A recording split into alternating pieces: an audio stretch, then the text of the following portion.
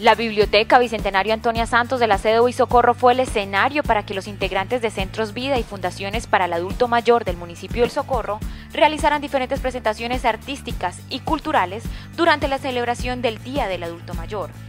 Donde ellos también nos han podido mostrar sus diferentes eh,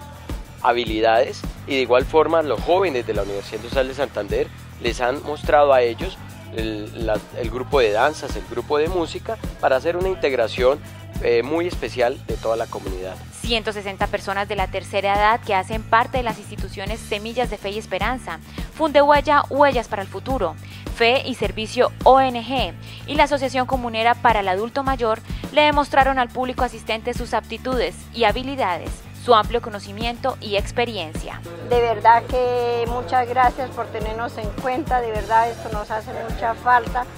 para compartir, para, para expresar nuestros, nuestros conocimientos. Sí, es muy hermoso, pues la verdad que esto hace parte de, de nuestra vida cotidiana y, son momentos que uno recuerda lo que